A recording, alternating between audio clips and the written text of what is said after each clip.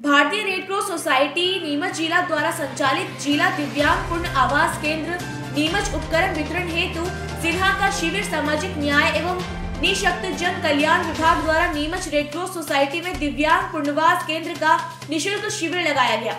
कार्यक्रम में कई दूर दूर से लोग आए, जहाँ उज्जैन से आए डॉक्टरों द्वारा सभी लोगों का निशुल्क चेकअप किया गया। साथ ही निशुल्क छलिया व उनका दिव्यांग होने के कार्ड भी बनाए गए। ये एलिम्फो कंपनी जो उज्जैन से आई है, उनके द्वारा चिन्हांकी शिविर है, जो हम लोगों ने आयोजित किया है। सामाजिक न्याय विभाग और डीडीआरसी के माध्यम से हो रहा है इन्हें सारी सुविधाएँ दी जाएगी, जिसे जो ट्राइसिकल चाहिए, बैसाखी चाहिए, छड़ी चाहिए कैलिपर्स वगैरह, कान की मशीन उसके लिए चिन्हांकी शिविर का है ये। तो जिस भी दिव्यांगों को इस सामग्री की आवश्यकता है, वो चिन्हांकन करके जाएँगे यहाँ से।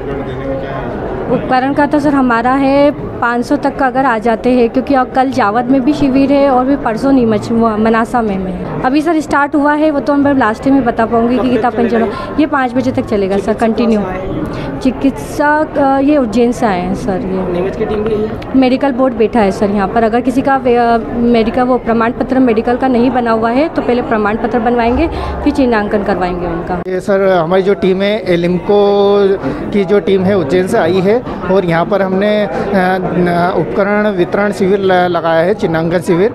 इसमें डीडीआरसी और सामाजिक न्याय द्वारा लगाया गया है इसमें हमारे जो पूरे कार्यक्रम में मेडिकल भी मेडिकल बोर्ड बैठेगा। मेडिकल बोर्ड के जितने भी दिव्यांग लोगों के प्रमाण पत्र बनेंगे और यू कार्ड का काम भी हो रहा है यहाँ पर। और उनका जितने दिव्यांग आएँगे अगर उनको कोई सामग्री चाहिए जैसे कैलिपर है बैसाखी है आदि के लिए इनका चिन्हांकन होकर चिन्हांकन होने के बाद जब सामग्री आएगी इनको वितरण किया जाएगा। अभी ये केवल चिन्हांकन शिविर है जो पात्र हितग्राही रहेंगे उनको फिर सूचना करके और फिर उनको सामग्री वितरण की जाएगी। यहाँ आज कितना पंजीयन हो चुका है? अभी सर ग्यारह बजे अभी चालू करा है, पाँच बजे तक होगा।